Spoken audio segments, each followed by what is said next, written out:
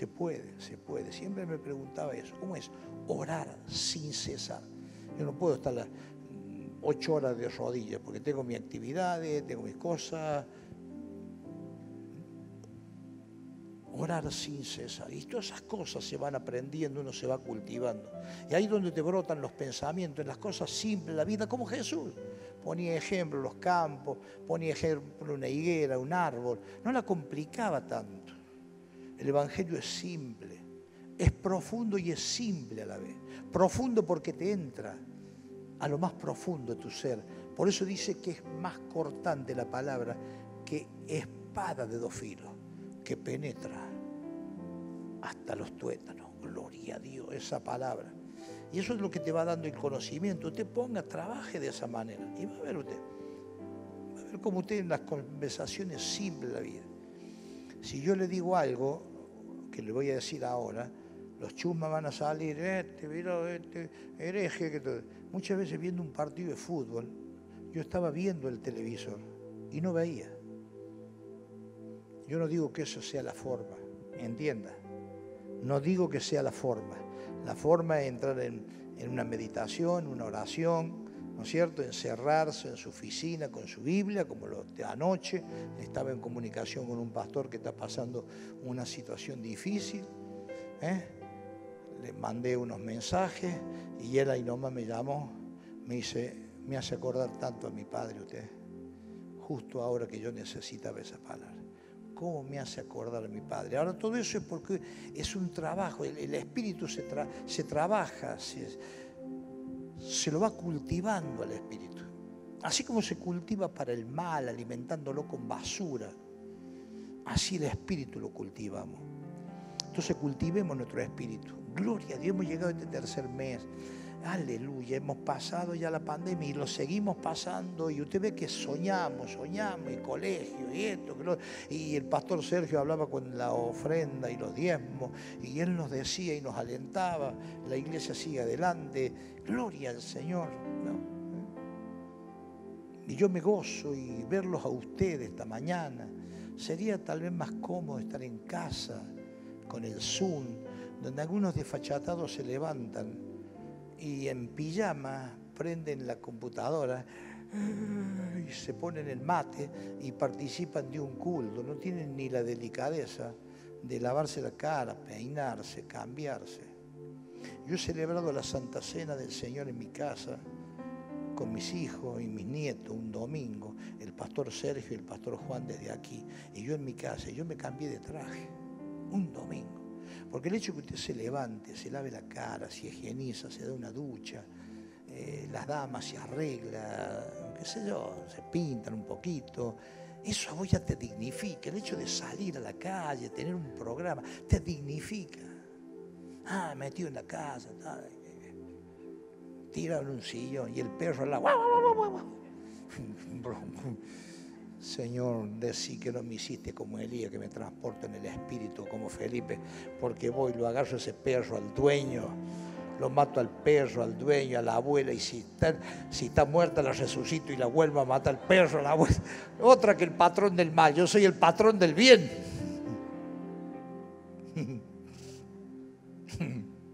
Aleluya. Por eso yo, yo valoro tanto que usted esté aquí, bendito sea el nombre del Señor lo valoro, lo respeto.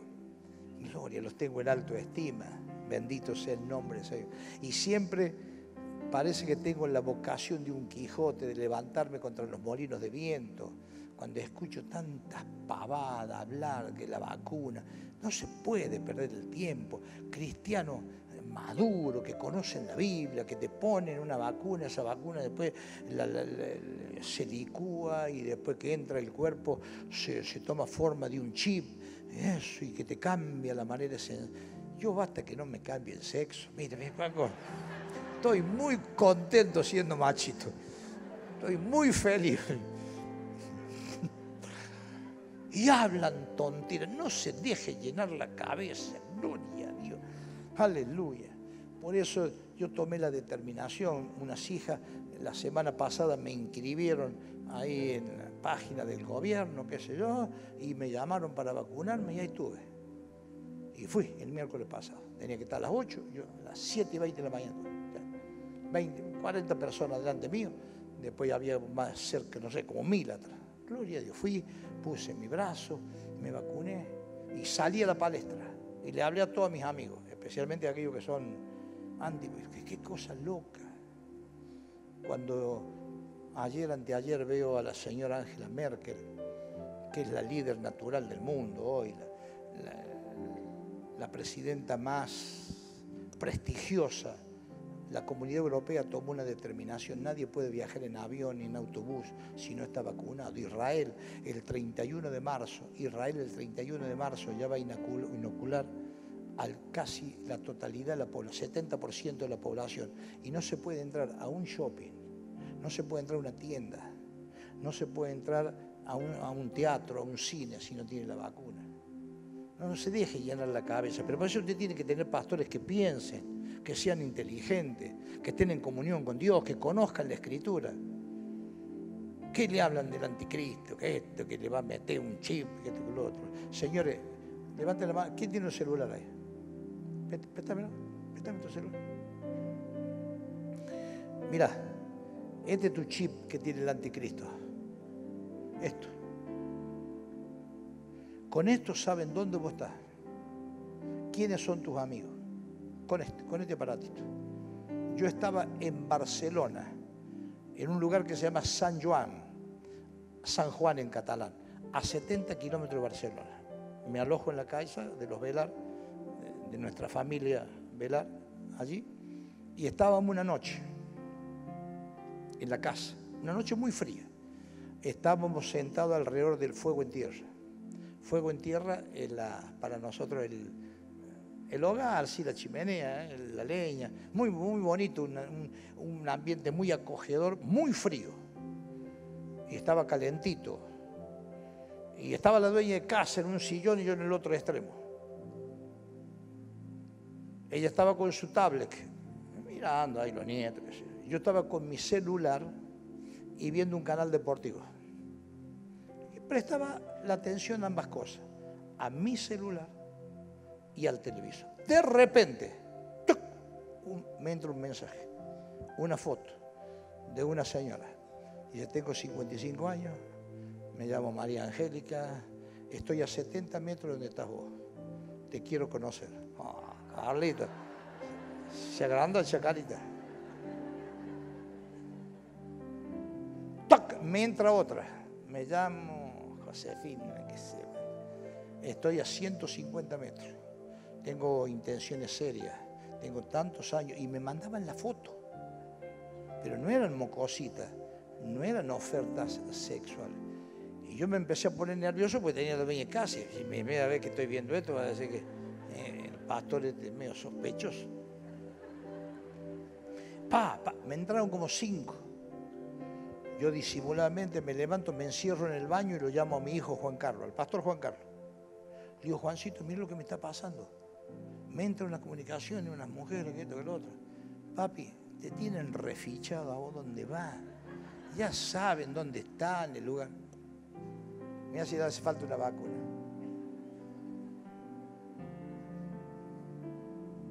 Mira si te va a hacer. Todo acá. Todo estamos bajo libertad provisional. Todos estamos bajo investigación, todo lo que estamos acá. Usted lo que tiene que preocuparse y ocuparse de vivir dignamente y santamente, de cumplir lo que dice la palabra de Dios, estar en comunión con Dios. Por eso no sé por qué se me está desviando el tema. Si yo tenía que hablar de este tema, me tenía que hablar de Isaías capítulo 54. ¿Qué tengo que estar hablando de estas cosas? Pero quiero desnudarme, quiero hablar las cosas cara a cara como son. Porque mi función como pastor es preparar a la Grey, número uno, para la venida del Señor, para las, a las bodas del Cordero, para que nos vistamos de acuerdo a una boda. Número uno. Número dos, la Biblia dice, preparando un pueblo bien dispuesto, dispuesto para recibir al Señor y para cambiar la realidad que hoy vivimos, bendito sea para cambiar todo. Esa predicación que venía escuchando, hablaba yo de que como cada uno, un simple plomero, ese ejemplo puse, un, simple carpintero, un médico, un abogado, eh, un empleado de una tienda, cambiando su medio ambiente, bendito Dios, siendo sal y luz. Gloria al Señor. Revertir esta maldad, esta injusticia que vive el mundo hoy. Algunos me dicen, pastor, la maldad va a aumentar en el último tiempo. Es verdad, lo dice la Biblia. Es verdad y lo creo. Pero no me olvido la segunda parte que dice, más la gracia va a sobreabundar. No me quedo con una parte. La Biblia completa. Diga conmigo, la Biblia completa. Y el día que le toque partir, yo cuando me puse la ¿qué? No, no tiene miedo. ¿Miedo de qué? No soy un guapo, no soy un... que me, me como el mundo. No, no, no. No. El hecho de que te ponga una vacuna no te inmuniza, te, te puede agarrar lo mismo. Más débil, no sé cómo. En mí está hacer lo posible. Dios hace lo imposible. No se dejen llenar la cabeza. No se deje manipular. Yo quiero ver qué se van a disfrazar todos los antivacunas. Había uno que era muy crítico y como yo estoy en una red pastoral latinoamericana, todo pastor en Latinoamérica, y, y eso criticaba la vacuna. Ahora ya, ya moderó. Ya dice, bueno, hay vacunas buenas y vacunas. Eso me acuerdo cuando a mi nieto no lo dejaban ver Harry Potter. No, no, no. Y un día él pregunta, pregunta, con seis años pregunta, ¿por qué es malo? No, porque hacen brujería, esto con una varita. ¿Y qué dijo el muchachito? Hay brujos malos y hay brujos buenos. Nunca me voy a olvidar, qué genio lo hago. Ese es mi nieto. Hay brujos. Yo quiero, dijo así, yo quiero decir una cosa, bueno, a ver qué quieres. Que hay brujos malos y hay brujos buenos. ¿Entiende? Viva la vida con una sonrisa, viva cada día como si fuera el último. Y el día que nos toque partir nos vamos con el Señor. Gloria a Dios. ¿Qué es eso de vivir con ese miedo que nos vuelve estéril, nos vuelve gente sin fruto, bendito sea el nombre? No sé por qué estoy diciendo esto. Aleluya. Isaías capítulo 54, no quiero perder el, el eje de la verdad que le quiero transmitir hoy. Por eso le pedí al pastor Sergio que se quedara sentado ahí. Disimuladamente cuando yo iba a ocupar el lugar le digo, quédate cerca porque no me siento bien. Pero no me siento no es por la vacuna, sino porque tengo una... Eh, dormí mal y estaba medio mareado. Este, yo me doy cuenta de eso. Y dormí profundamente cuando me desperté, estaba mareado. Después fui a la ducha y le dije, quédate cerca porque hay cosas, toma vos la predicación. Para que vea para que usted vea cómo es su pastor. Su pastor no anda escondiendo las cosas. No es un superhombre. Yo lloro igual que usted.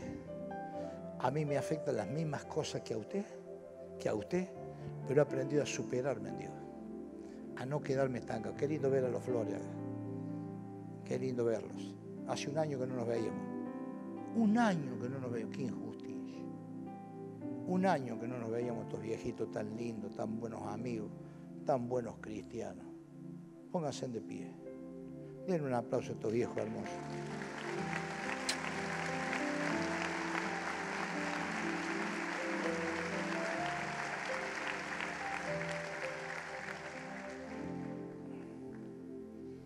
Sentado, please. Regocíjate. Gloria a Dios. 54. Regocíjate estéril Oh, gloria a Dios. Qué fácil para nosotros, los varones, pero la esterilidad para una mujer. Y en la época bíblica, una mujer era repudiada si no daba luz. Se casaba con tantas ilusiones, con tantos sueños. Su enamorado esperaba la fecundidad, esperaba ser que ella fuera fecunda. Y él también. ¿Cuántas veces habrán descargado acusaciones, desprecio, siendo que él era el responsable. Pero ¿cómo se sabía en aquella época? Ser una estéril en ese tiempo era una desgracia. No dar fruto era una desgracia, una tristeza, una amargura. La podían repudiar y cambiarla por otra como una vil mercancía. Qué injusticia, qué dolor. Así eran los pueblos nómades en la antigüedad. Por eso amo tanto a mi Señor, cuando Él igualó al hombre y a la mujer, a la mujer y al hombre. Estos conflictos ahora, feminista, machista, eso nunca estuvo en la cabeza ni en el corazón de nuestro Dios. Aleluya. Me gusta cómo Dios le da la razón a la gente. El apóstol Pablo, y me sigo desviando del tema, nos vamos a quedar hasta la una. ¿Hasta qué hora tenemos, Pastor Sergio? Bueno, acá me dice que tengo 12 minutos. El apóstol Pablo escribe y dice, esto no lo dice Dios, lo digo yo, y está en la Biblia. Ay, y nosotros decimos que la Biblia es la palabra de Dios. Y Pablo toma el atrevimiento, tiene el tupés de decir, esto no lo dice Dios, lo digo yo. Y está en los cánones sagrados. Lo estudiamos en el Instituto Bíblico. Aleluya. Por eso venga al Instituto Bíblico, aprenda, capacítese, para que el día usted tenga una credencial, pero más que credencial, tenga los principios eternos grabados en el corazón con los fundamentos, con fundamentos, no con tradiciones el apóstol dice de viejas, ¿eh? de, chusma, del barrio, ni tampoco con la ligereza de un evangelio aguado, sino los fundamentos eternos. Gloria a Dios, los que ha sostenido la iglesia hasta hoy y la sostendrá hasta que el dueño la venga a buscar. Porque aquí no es nadie dueño de la iglesia, Él es el dueño. Él es el que la compró con precio de sangre. No fue su sangre, no fue la mía, fue la sangre del unigénito Hijo de Dios. Y que, que Dios diga, bueno, si lo dice Pablo, está bien. Se volvió tan confiable Pablo para Dios que Dios dijo, está bien. Conste, conte en acta. Conste en acta. Y ahí está en la Biblia. En una ocasión, cinco chicas, en el libro de números, creo que el capítulo 28, pero te lo doy de memoria, se llaman las hijas de Felosejap. Cinco chicas que no van a recibir herencia, porque solo en una sociedad machista, solo los varones recibían herencia, porciones de tierra. Y las mujeres quedaban sin nada, a la, buena de la vida. Si le tocaba un marido piadoso, bueno, amoroso, si le tocaba un desgraciado, un déspota, eran unas parias. Y las chicas un día van ante Moisés porque muere su padre y no tiene herencia. Y, va ante los príncipes, ante Moisés, y Moisés, ¿y qué hacemos? dice que Moisés fue a Dios. Siempre vamos a Dios con nuestras intrigas, con nuestras dudas, con nuestras luchas. Vamos a Dios. Amén. Eh.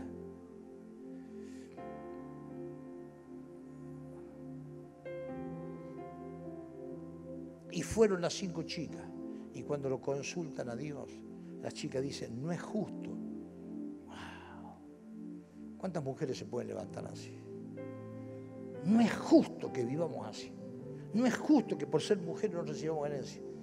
Moisés lo sacan del statu quo religioso, lo sacan de ese estado. Y él consulta a Dios. ¿Y sabe lo que le dice Dios? Bien ha dicho, han dicho estas chicas. Bien ha dicho estas chicas.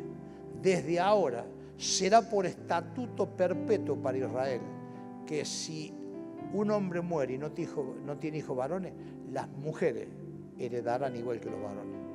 Cinco mujeres cambiaron la historia. ¿Y cuántos más? ¿Cuántos más cambiaron la historia? Y Dios le dio el visto bueno y dijo, está bien, qué lindo, qué lindo que no tenemos un déspota, no tenemos un Dios tirano, cruel, no, tenemos a un Mahoma que en sus preceptos él dijo, te conviertes o la espada. Jesús dijo, si te hiere una mejilla, pone la otra. ¿Se da cuenta cuál es la religión del amor? ¿Cuál es la doctrina del amor? ¿Y cuántos otros casos? Son los dos que se me ocurren ahora. Son dos que se me ocurren. Pero hay tantos en la Biblia como Dios le da la razón y está bien. Por eso en Isaías un, un día Dios le moja la oreja y dice, vení, discutamos. A ver, ¿qué tenés para argumentar? ¡Wow! Vení. Dios no se pone nervioso. Aleluya. ¿Cómo no vamos a estar felices así? ¿Cómo no nos vamos a gozar en Dios? ¿Cómo vamos a, ¿Cómo vamos a traicionar semejante confianza? Y acá le está diciendo a una chica estéril, regocíjate estéril. La que no daba luz, levanta canción y da voces de júbilo. La que nunca estuvo de parto, porque más son los hijos de la desamparada que de las casadas, ha dicho Jehová. El 2, el 2, por favor. Ensanche el sitio de tu tienda, las cortinas de tu habitación sean extendidas, no seas escasa, alarga tus cuerdas y refuerza tus estacas. Le está diciendo alguien estéril, ¿qué no está diciendo el Señor en esta mañana, en este tercer mes del año? Gloria a Dios, que lo que no diste fruto te regocije lo mismo, que alabes a Dios, que glorifiques a Dios, porque tendrás más hijos que las casadas, bendito sea el nombre del Señor. Será tan grande tu prole que no entrarán en el lugar de tu habitación. Hoy, bendito sea Dios. Él te invita a que extiendas el borde, aleluya, de tus tiendas, refuerce tus estacas. Son todas responsabilidades nuestras.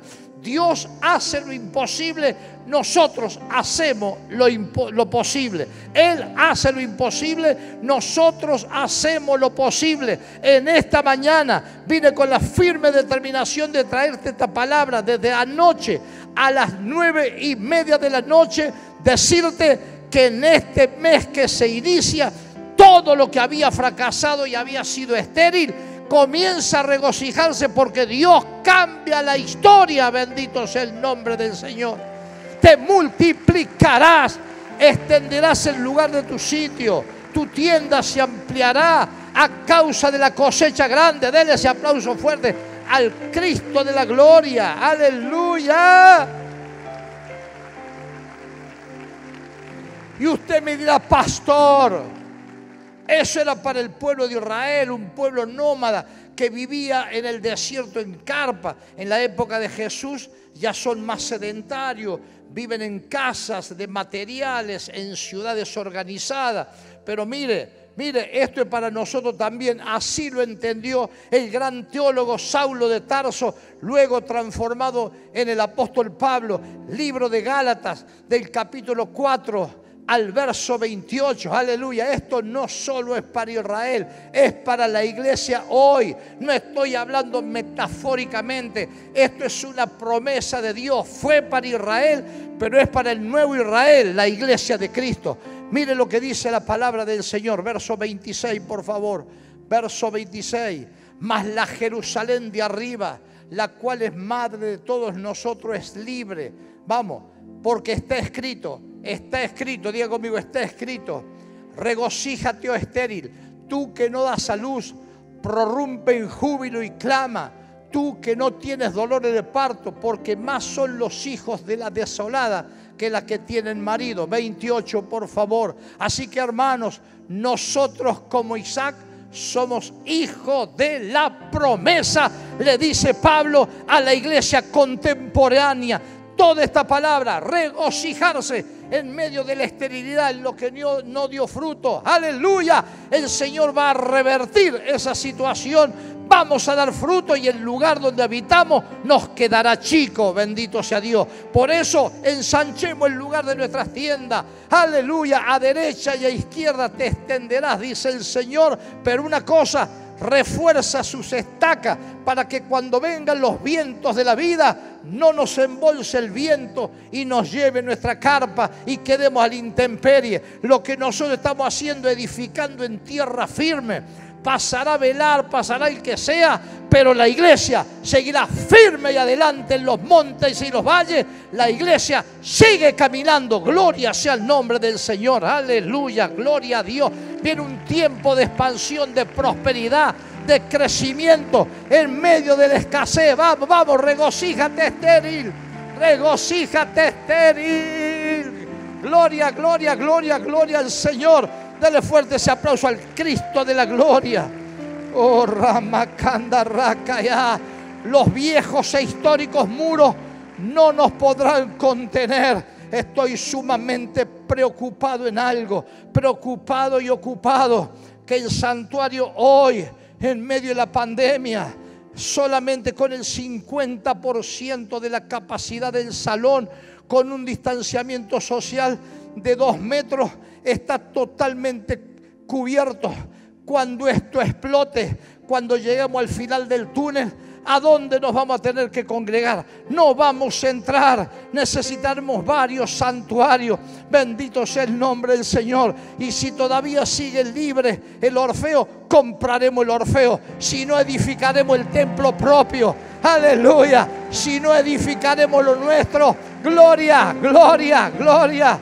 Aleluya. Se van a convertir banqueros. Se va a convertir gente rica Gloria a Dios. Habrá abundancia de empleo para el pueblo. Tendremos nuestros sanatorios propios. Tendremos nuestras universidades propias. No me quedo solamente con el colegio. Hay más en Dios. Regocíjate. Regocíjate y alaba al Cristo de la gloria. Vamos, vamos, vamos, gloria a Dios. Como dice el Congreso de Jóvenes, estamos de pie. Estamos de pie y nos ponemos de pie. Oh Ramayamakai. Gracias, Señor. Gracias, te adoramos. Te bendecimos. Exaltamos tu nombre, Dios. Gloria, gloria, gloria a Dios. Regocíjate, regocíjate, la que no tenía hijo. Aleluya, la que era despreciada, la que un día tenía expectativa en la vida, se enamoró pero por esas cosas de la vida, la injusticia, gloria, fue marginada, dejada de lado, gloria, pero se levanta una nueva generación. Señor, no estamos jugando a la iglesia, acá no entretenemos a los niños, no entretenemos a los adolescentes ni a los jóvenes, no es una actividad más, porque bueno, hay que hacerlo, sino que hay una labor paternal, hay una labor apostólica, didáctica con los matrimonios, con la familia. Son cajas de herramientas. Estos chicos cuando vienen los sábados le dan una caja de herramientas. Cuando vienen los matrimonios, las reuniones, se les da una caja de herramientas. Cuando se viene a la reunión de hombres, se van con una caja de herramientas. Cuando viene a la reunión de mujeres, se van con una caja de herramientas. Cada uno sabe lo que tiene que hacer con esa herramienta. Usted puede sacar un martillo darle un martillazo a su pareja darle un martillazo a un compañero, una compañera, o con ese martillo tomar un clavo y edificar un púlpito donde se predique la palabra de Dios. Usted decide, usted el que decide, por eso regocíjate. No se va a venir un ángel a regocijar, todos vos regocíjate, y eso es fe, y nuestra fe vence al mundo. Padre, gracias te damos, en el nombre de Jesús. Pastor Sergio, gloria a Dios, alabe a Dios, levante las manos. Levante las manos y alabe a Dios. Gloria a Dios.